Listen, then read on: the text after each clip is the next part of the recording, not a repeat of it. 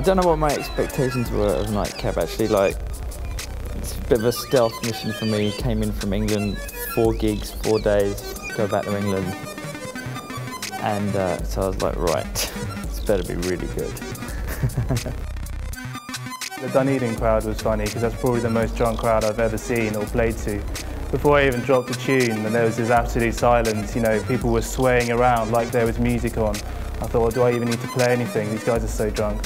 So that was wicked. You think I'm crazy? Crazy, crazy, crazy, crazy. Ladies and gentlemen, fresh new single from Nero tonight. Please, Christchurch, show some fucking love!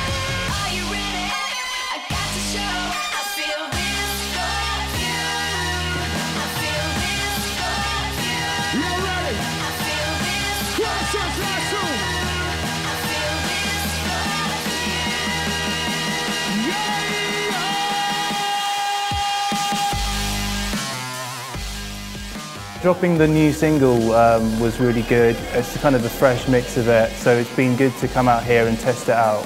And it's had a good response so far. Um, and like the other DJs have come up and said, oh, what was that last tune you played? Which is always nice, and you can say, yeah, that's going to be our new song.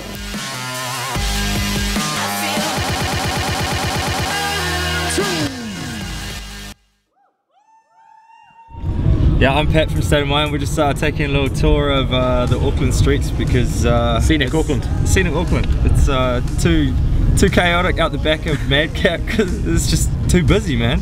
Too busy. I give the in the world only me taxi driver give the rolly any customer. Doesn't happen every day. It's good though. See, who said that people in Auckland aren't nice? Yeah. Yeah, fucking no.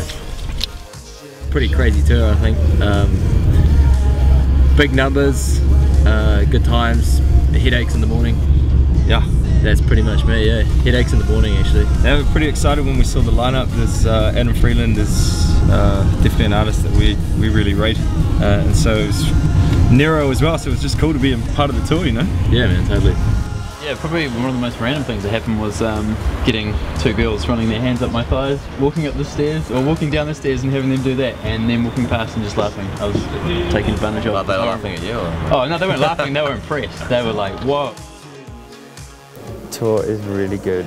Uh, Dunedin was was uh, was a trip, like really drunk students. They were really drunk. They were standing there like, ah. We're kind of really lazy. We don't um, very good at promoting ourselves. Um, we let it speak for itself.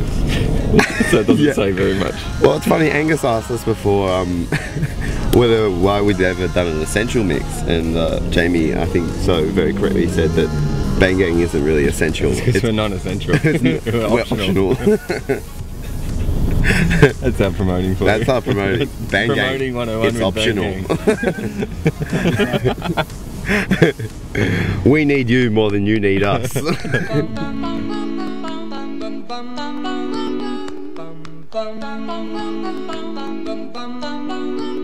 Mr. Sandman, bring me a dream. Bang Gang Angus, he's a very funny man.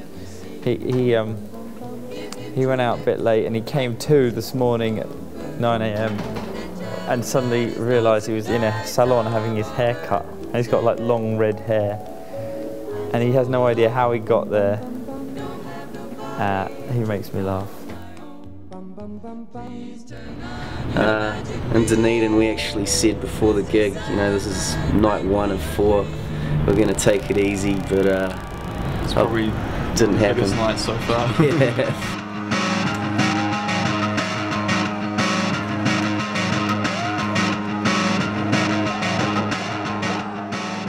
Seeing, you know, like 1,500 kids going mental to dubstep is such a bizarre concept to me because dubstep parties or, you know, anything with dubstep or drum and bass in Australia is like 15 dudes in a shitty little club going like this to the deck. Whereas, you know, to see like 18 year old girls chewing their lips off and throwing their hands around to like some fucking Skream track is just like so foreign to me.